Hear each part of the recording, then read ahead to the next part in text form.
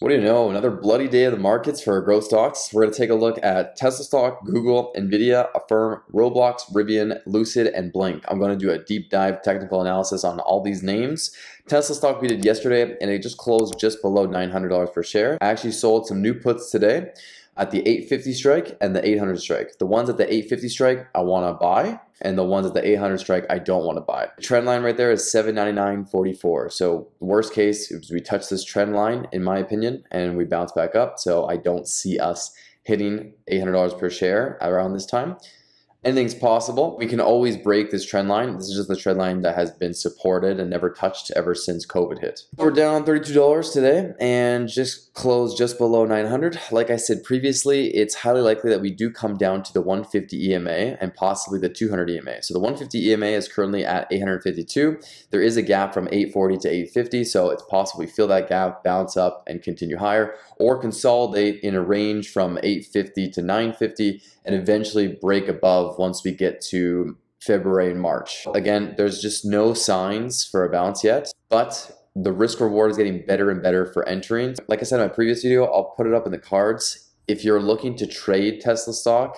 850 is the best entry for you. If you want to hold Tesla stock for six months or more, then this is where you buy.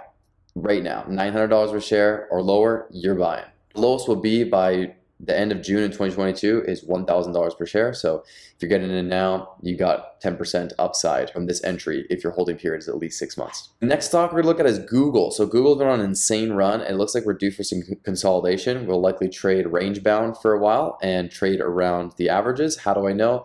I think because uh, if you just look at the RSI, we're making new lows. So it, it, looks like we've run out of buyers. From here, we could see a 8 to 9% pullback down to the 50 EMA, which is the green ribbon, which we don't do very often on Google. So we're on the weekly chart for Google. We hit COVID here. We went all the way down to touching the 200 EMA, made an insane rally, and then have only really touched the 20 EMA on the weekly and never looked back. And right now we're sitting at 20 EMA at 2,818.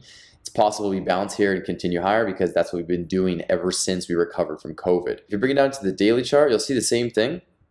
You know, we've come down and touched the yellow ribbon, which is the 100 EMA, and now we're touching it again. And the yellow EMA has been a really good risk reward for Google stock, and that's currently sitting at 2,814. So again, low 2800s right now for Google stock if you're looking to invest or hold for six months or more. Fantastic risk reward opportunity. If you're looking to trade Google, just know that in September, we did dip down to the 200 EMA, which is the red ribbon, and we spent some time trading below there. So if you bought Google when it first hit the yellow EMA, you would have bought September 18th, and then it wouldn't take very long. It would take one month for you to break above and be profitable. So Google's a lot more consistent in its upward trend. So anytime you do get those pullbacks down to the yellow or the orange EMAs, great time to add or get into a position if you're looking to hold for a few months or more. Nvidia here on the daily chart, it really likes to respect the 50 EMA, so you'll see that it really likes to hug it. If it ever gets away from the 50 EMA, then it typically pulls back and then it might trade just below and up and it chops around, but it likes to really hug that 50 EMA. If you ever get a dip really below it and touch the yellow ribbon, which is the 100 EMA, again, great risk reward opportunity to add to the position. But just know that there's a lot of times where it consistently bounces off of the 50 EMA and continues higher. So if you just take a look back, you'll see just uh, the end of September, we came down, broke through it, but then within a week we were above it and then never looked back. If you look just before that, in August, touched the 50 EMA, went higher, didn't look back. Touched the 50 EMA in July and then never looked back. February of 2021 broke through the 50 EMA, which was at 138, and then it took just a month and a half to break above to be back positive and then again never look back just kept bouncing above. Nvidia is another great risk reward opportunity to buy anytime you're at the 50 ema or the 100 ema because it doesn't spend a lot of time below it. Again the current 50 ema is at 282 but it's been a while since we've tested the 100 ema and we did get very far away from the averages. So the further away we get from the averages, the more aggressive the snapback should be. So technically speaking, we could chop around here and then eventually the 100 EMA could come up to about 260 and we could touch 260. So if you're looking to get into NVIDIA to hold for a while, 260 could be a great entry. But just know if you're a long-term investor, then anytime we're at the 50 EMA or trading below it, great time to add to your position. However, if we bring it up on the one hour chart, there is actual signs of bottoming. We have the RSI turning to head up, the stochastic turning to head up, and the percent R coming up. So there's a possibility that we did bottom at around 270 today, and then we're starting to make our way back up or at least be range bound and chop around from you know the high of 390 and a low of 270. All right, next we have Affirm, and Affirm is continuing to downtrend. We had an, an insane run over the past months. This one isn't really showing any signs of slowing down. we take a look at Affirm on the daily chart, you'll see that we spent a lot of time really strong with an RSI of 70 or higher. You'll see August 30th when we first got to an RSI of over 70, it went straight to 80 and we were at $90 per share. And then from August 30th to November 8th, we went from there to a high of $170 per share on Affirm. We're currently down 46% from highs and it looks like we could come all the way down to the gap that's around 75 to 85 it's possible. There's still no signs of us bottoming on Affirm either. You have the rsi continuing to head down. Nothing is turning up. We have the stochastic turning to head down and the macd still going down. Good news is whenever there is less volume then it's usually signs of sellers getting exhausted. Look how low the volume was on, on all the selling today.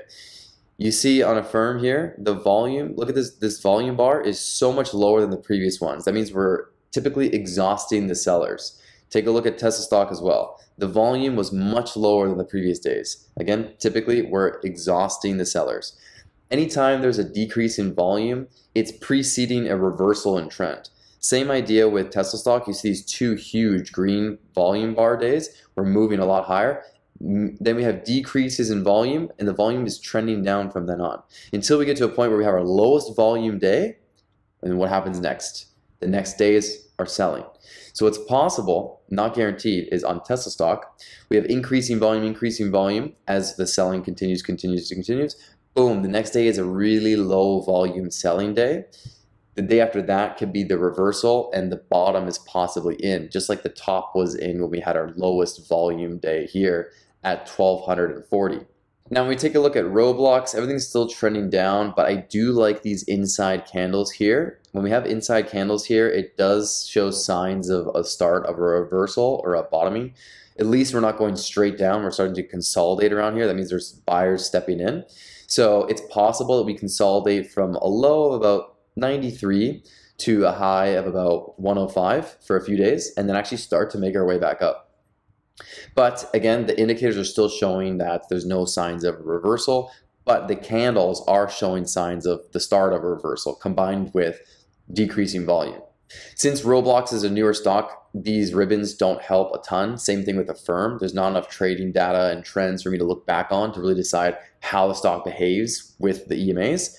So I'm not even going to talk about them. Next up, we'll take a look at Rivian. Rivian's going straight down, selling off, and I didn't close my put that I sold at the 90 strike, but tomorrow, if we end the day below 90, I will close it for a loss because it's very possible that we just continue to trade down for Rivian because the valuation is still at 81 billion with such low sales. And, and Lucid, the, the valuation is at 62 billion.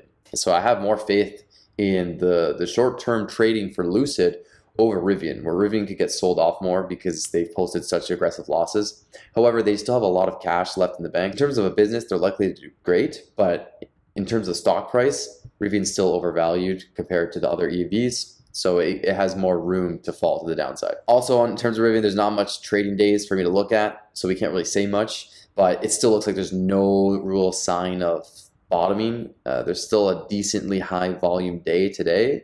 It was higher than the previous days so there's not a there's no real signs of us slowing down. We'll take a look at the one hour chart to see if there's any signs of bottoming. Not really. It still looks like everything's turned to head down. So there could be more downside for Rivian. On Lucid stock, we did have one of our lowest volume trading days ever since we started to make this move up. So that's a good sign. We have the squeeze mob here decreasing. So it's going from red and it's likely going to start to turn green. So I think uh, we could bottom around $35 per share on Lucid and then you know consolidate and turn to head up. So I think we don't have a far way to go on Lucid stock in terms of selling off. As an example, Lucid and Roblox are showing the best signs of bottoming and turning to head up, whereas Affirm isn't showing real signs of slowing down in terms of selling. Rivian isn't showing any signs of slowing down. Tesla stock isn't showing signs of slowing down either in, in selling. The good news is I think we'll have the bottoms in this week and then we'll start to at least trade sideways and slowly move back up. Blink is the last name we're to talk about here and Blink's just been getting slaughtered. We uh, exploded. I remember I sold a Strangle back in the day and the strike was 48 and I actually closed it out because and ever since then it just went straight down. So we went to 48 and we're currently down 43% in one month on Blink. 43% in one month.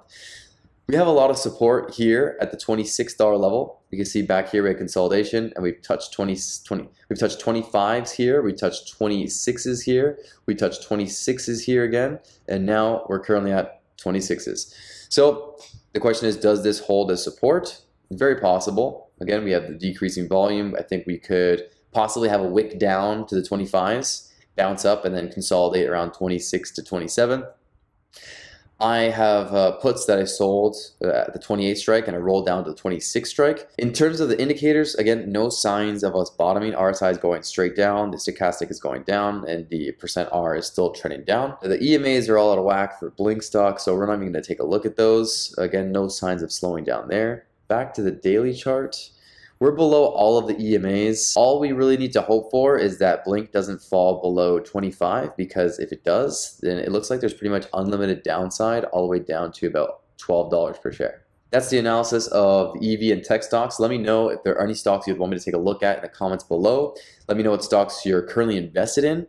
Give this video a thumbs up if you appreciate it. Thanks so much for the support. If you're looking to build your wealth in the stock market with options trading, day trading, or swing trading, you're definitely going to want to subscribe. I post videos breaking down stocks and strategies to earn enough income to achieve financial freedom. So if you're interested in that, hit that subscribe button, hit the notification button, and I'll see you in the next video.